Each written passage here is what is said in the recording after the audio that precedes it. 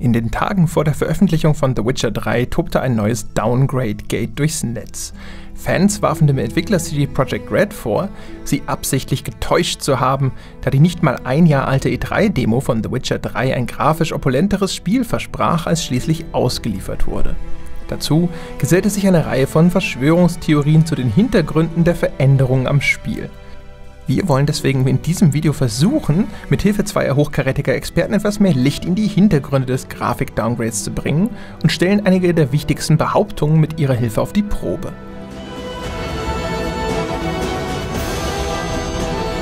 Die Konsolenhersteller Microsoft und Sony, so heißt es, sollen beispielsweise Druck auf Entwickler ausüben, damit das Spiel auf dem PC nicht erheblich besser aussieht als auf einer ihrer Plattformen.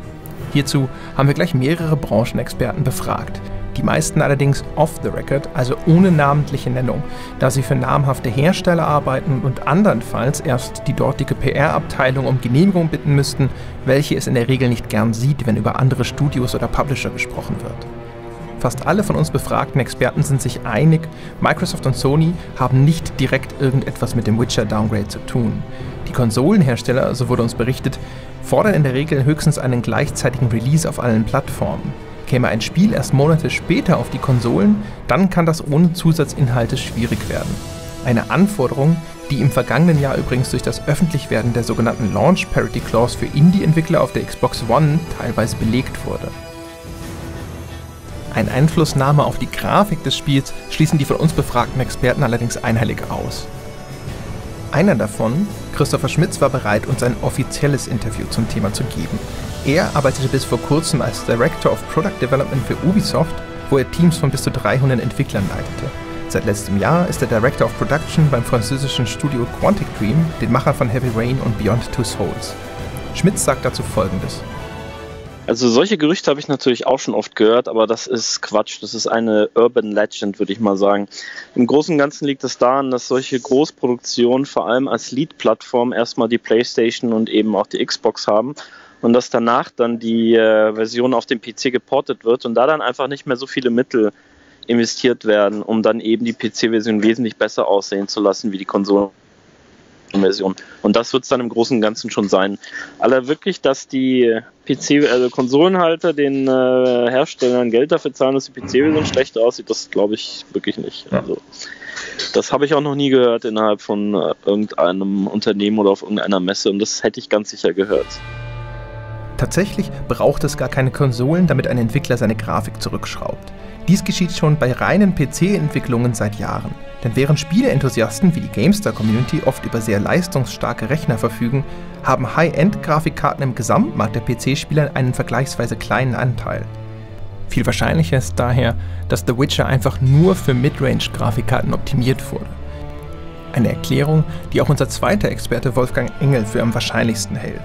Der gebürtige Deutsche ist einer der führenden Experten für 3D-Grafik in Computerspielen weltweit. Als Mitglied der Research and Technology Group bei Rockstar war Engel einer der Hauptverantwortlichen für die Entwicklung der Rage Engine, die in Spielen wie GTA 4 und Red Dead Redemption zum Einsatz kam. Nach seiner Zeit bei Rockstar machte er sich selbstständig und unterstützt mit seiner Firma Confetti jetzt zahlreiche AAA-Produktionen, wie zuletzt Tomb Raider und Battlefield 4. In unserem Skype-Video erklärt er, warum CD Projekt Red nicht einfach mal eben eine weitere extrem detailreiche Grafikoption für absolute High-End-Systeme anbieten konnte. Wenn du eine Million in Produktionskosten in einen Charakter investierst, bist du ganz gut. Investierst du 5 Millionen, kannst du schon in Top-Positionen einkaufen. Ähm, du kannst mehr oder weniger ähm, in den Dimensionen denken. Ja, ein Charakter im Spiel kann wirklich sehr teuer sein in der Produktion. Und äh, das hängt dann davon ab, ja, wie hoch du gehen willst. Und dann gibt es eben Firmen, äh, die können höher gehen, die haben mehr Geld. Und dann gibt es Firmen, die einfach niedriger bleiben müssen, äh, weil sie schlicht und einfach das, das Geld investieren können. Ähm, das sind rein wirtschaftliche Überlegungen. Ähm, es ist eine Menge manuelle Arbeit involviert in den ganzen Art Assets. Und am Ende des Tages läuft es einfach darauf hinaus, äh, wie viel Geld haben wir und welche Grafikkarte oder welche äh, Performance hat unsere Zielgruppe. Äh, und dann optimierst du das äh, darauf.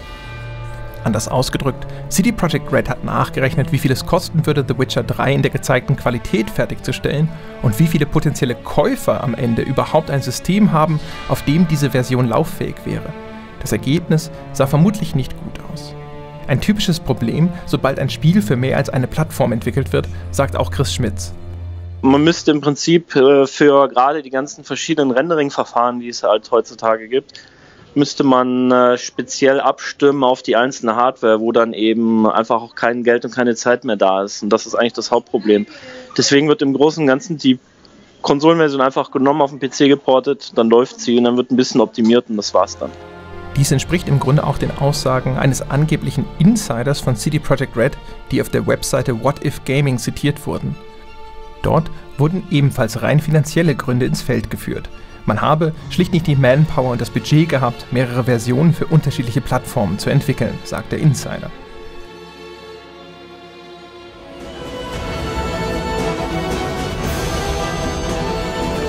Was bleibt, ist die Frage, ob es irgendwo da draußen eine Version von The Witcher 3 gibt, die tatsächlich aussieht wie die E3-Demo 2014. Wolfgang Engel sagt, das sei zumindest nicht völlig ausgeschlossen. Häufig kommt es vor, dass Grafiken im Spiel zunächst in einer höheren Qualität produziert werden, um dann für die verschiedenen Plattformen angepasst zu werden.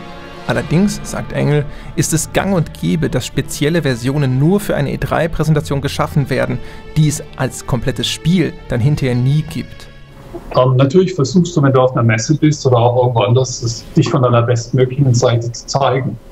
Äh, ich meine, es gibt viele Beispiele aus der Vergangenheit, wo, wo Demos mit ähm, extremen High-End-Grafikkarten gemacht worden sind, um, um natürlich auch zu beeindrucken.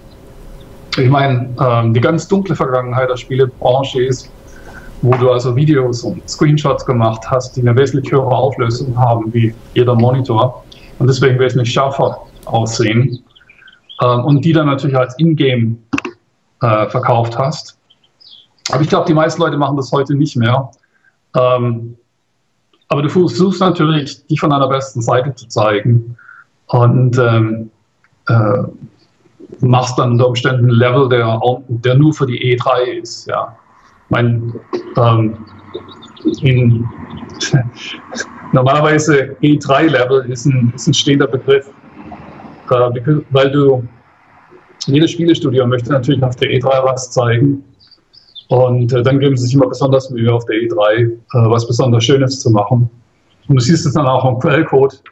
Ähm, das ist ein, ein, Witz zwischen Programmierern mit den E3-Hacks. So das Define E3-Hack, ähm, das dann drin bleibt, bis das Spiel shippt. Auf Nachfrage äußert sich auch Chris Schmitz zum Thema der E3-Präsentationen ganz genauso.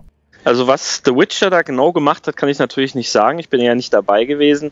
Allerdings ist es schon eine gewisse Best Practice in der Industrie, dass äh, Trailer mit der Game Engine gemacht werden. Allerdings die Game Engine dann vielleicht nur noch mit ein oder zwei Frames pro Sekunde läuft, wenn überhaupt, um dann eben eine wesentlich bessere Qualität äh, zu produzieren im Trailer.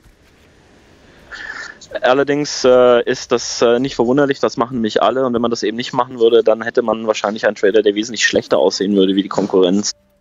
Die Aussagen unserer Experten treffen vermutlich insbesondere auf den Trailer The Beginning aus dem Jahr 2013 zu, von dem aber vermutlich auch kein informierter Spieler je angenommen hat, dass die fertige Spielgrafik je dieses Niveau erreichen würde auch, dass irgendwo bei CD Projekt das komplette Spiel auf dem Niveau der E3 2014 Demo existiert, halten die Experten, die wir gefragt haben, größtenteils für sehr unwahrscheinlich. Allenfalls geben einige zu bedenken, dass es für den Entwickler Sinn machen könnte, das Spiel in ein paar Monaten als Enhanced Edition erneut auf den Markt zu bringen, diesmal mit höherem grafischem Niveau, um den Spielpreis hochzuhalten und den Titel erneut ins Gespräch zu bringen. Im Wesentlichen, was sie gemacht haben, so wie es aussieht, ist, dass sie am Level of Detail System geschraubt haben.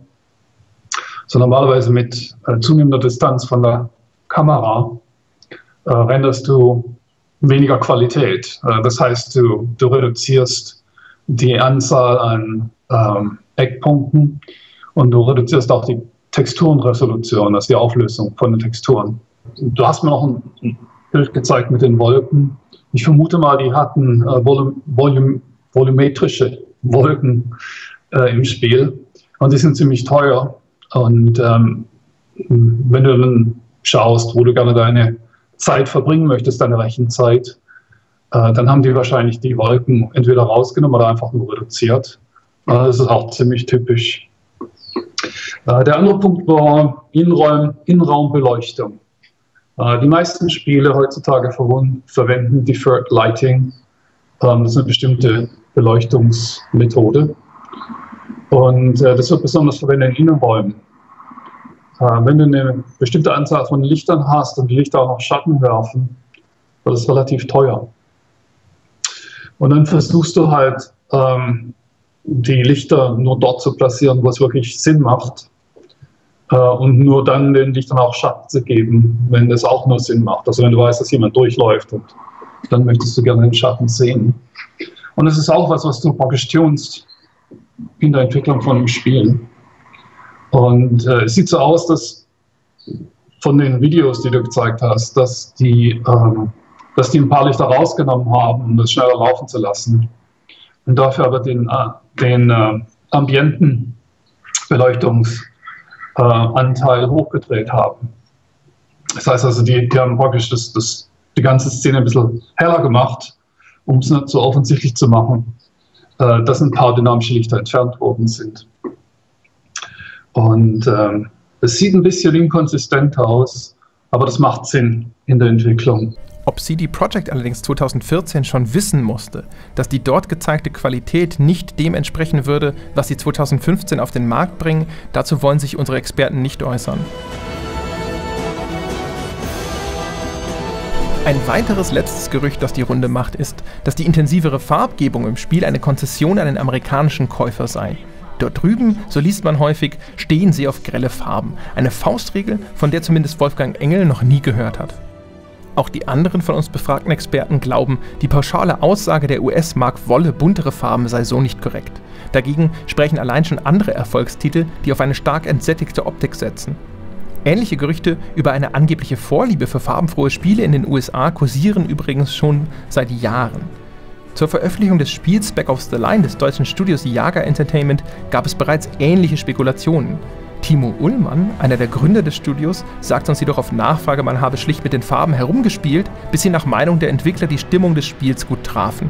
Territoriale Vorlieben gäbe es zwar, aber die seien nicht genau genug messbar oder vorhersehbar, um danach den Look eines Spiels auszurichten. Das bestätigt übrigens selbst Ivan Erdloff, der bis 2009 als Joe Wood Producer an der Entwicklung von Arcania beteiligt war. Das Spiel von Spellbound wurde seinerzeit extra für den US-Markt etwas farbiger gestaltet, da Fokusgruppentests laut Erdloff eine leichte Präferenz für kräftigere Farben erkennen ließen. Am Ende, so erzählt Erdloff heute, hätte man aber selbst damals bestenfalls 5 bis 10 Prozent bessere Verkäufe durch die Farbanpassung erwartet. Heute, so sagt er auf Nachfrage, würde er auf eine solche Anpassung verzichten und sogar eher auf einen leicht desaturierten Look mit stärkerem Kontrast und Filmgrain setzen. Die Erwartungen an den Look eines AAA-Spiels haben sich seit damals recht deutlich verändert, so Erdloff. Andere Entwickler mutmaßen deswegen übrigens, dass vielleicht das Game Design für die Änderung der Farbpalette verantwortlich war, beispielsweise, dass sich die Spielfigur oder manche Gegner bei desaturierter Farbgebung nicht ausreichend vom Hintergrund abgehoben haben. Kommen wir abschließend also zu einem kleinen Fazit. Es ist sehr unwahrscheinlich, dass Microsoft oder Sony direkten Einfluss auf die Entwicklung von The Witcher 3 in Bezug auf die Grafikqualität genommen haben, was den PC angeht. Viel wahrscheinlicher ist stattdessen, dass CD Projekt einen möglichst großen Anteil des PC-Marktes erreichen wollte und das Spiel daher auf Midrange-Grafikkarten optimiert hat. Darüber hinaus ist wahrscheinlich, dass eine der Konsolenplattformen als Lead-Plattform der Entwicklung fungiert hat, höchstwahrscheinlich die PS4.